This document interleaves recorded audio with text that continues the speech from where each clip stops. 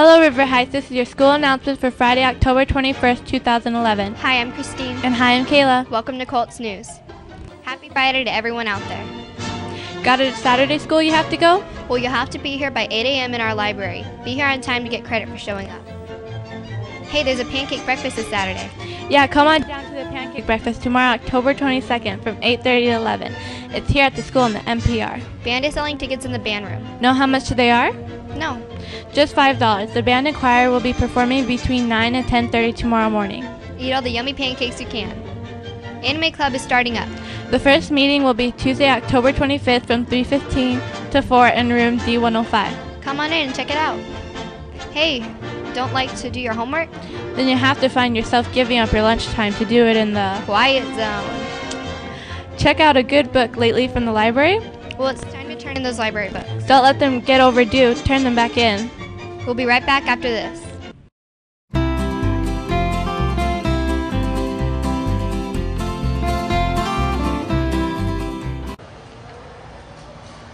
Hey everybody, it's Mr. Clampett. I just wanted to talk uh, for a few minutes about uh, homework. Uh, my suggestion for making sure you get your homework done is to come up with a time every night that you're going to do it. For example, you may want to do your homework between 5 and 6, 6 and 7, 7 to 8, doesn't matter when. Just set a time aside every day or every night that you're going to start on your homework. And what will happen is it'll turn into a, a habit. And a habit is something you're going to do without thinking about it too much. So that would be my uh, tip for the day is set aside a time you're going to do homework every night. Thanks a lot.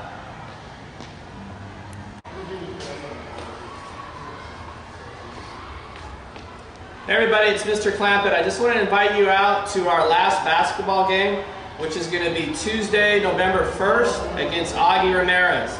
Both the boys teams and the girls team are undefeated.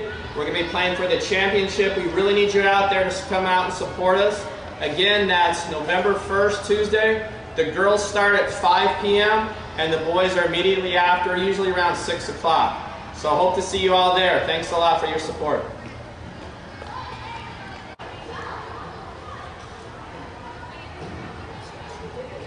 Hey everybody, it's Mr. Clampett. I just want to invite you out to our last basketball game, which is going to be at Roosevelt High School, Tuesday, November 1st. We're going to be playing Augie Ramirez. Both the boys team and the girls team are undefeated. We're going to be playing for the championship. Girls start at 5 p.m., girl, uh, boys at 6 p.m. Hope to see you there. Thanks a lot. I have to do that. Hey everybody, it's Mr. Clamp. I just want to invite you guys out to our last basketball game of the year against Augie Ramirez, and that's going to be Tuesday, November 1st. It's going to be at Roosevelt High School. Both of our teams are undefeated. Both of our teams, the boys and girls, are going to be playing for the championship. We really need you to come out and support us.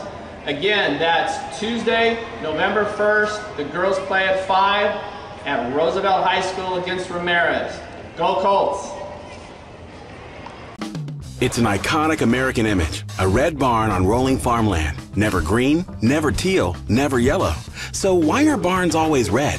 The tradition dates back centuries, in part because red paint was cheaper in the 19th century, and in part because before that, farmers mixed their paint with milk, linseed oil, and iron oxide, aka rust, producing a reddish mix that also helped protect the barn. Red's also been the traditional color of stoplights since the first one was turned on in Cleveland in 1914.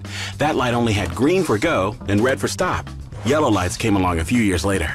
Yellow has also been the color of NFL penalty flags since 1965. School buses are also yellow, actually a particular shade called National School Bus Chrome, so the letters will stand out in early morning or at dusk. Taxis have been yellow since John Hertz, also the founder of the rent-a-car service, adopted it for his Chicago cab business in 1915. Now yellow is the only color allowed in New York, where a yellow taxi medallion costs close to a million dollars. A lot of green. Greenbacks were printed during the Civil War, and it's been the color of American money ever since. There's no particular reason for green. In fact, the U.S. is the only country where all bills are the same size and dominant color. At least green makes more sense as the traditional color of the iconic John Deere tractor, so it'll look nice parked in front of your big red barn. Back.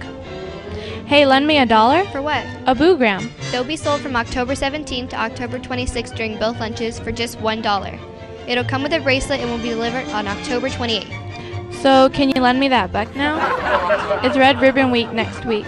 Starting on Monday, October 24th, it'll be Crazy Sock Day. That's right, Colt. Sock it to Judd. Wear your crazy socks on Monday. It's not the stinkiest sock day, so make sure your socks are clean. But crazy. Drug free is a choice for me. Did you order your yearbook yet? Right now it's only $23, but next month it's going up probably to 60. Oh no. Just kidding, we'll go up. Order yours from Miss Donna in the library or Miss Burcham. And don't forget to follow us on Twitter and YouTube. And that's all the news for today. Thanks for watching, and we hope you liked our newscast. Have a good day. Bye. Bye.